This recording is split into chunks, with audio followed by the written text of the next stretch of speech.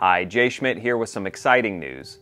Over the last two years, 10 of our loyal customers have gotten their cars for free.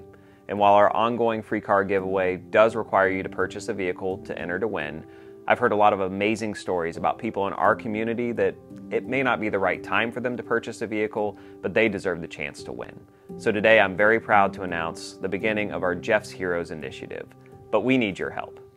We want to hear the stories of people that are making a difference in our community, or people that are just making a difference for you.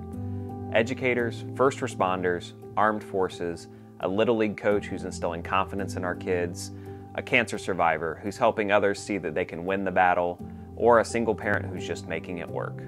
From April 15th to May 1st, you'll have the chance to go to our website and nominate your hero.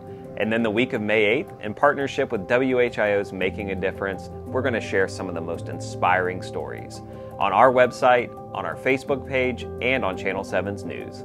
You will then have a chance to vote for who you think should be the first Jeff's hero. The Jeff Schmitt Auto Group is then going to give that person $20,000 towards a vehicle that fits their needs and $10,000 in cash. The Dayton community has given so much to my family over the last several decades, and I am honored to be able to give back but we can't do it without your help. So go to jeffdeals.com and nominate your hero today.